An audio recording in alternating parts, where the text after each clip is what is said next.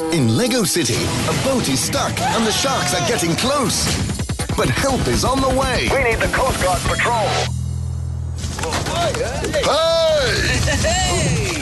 Build a high-speed patrol boat and hurry to the rescue.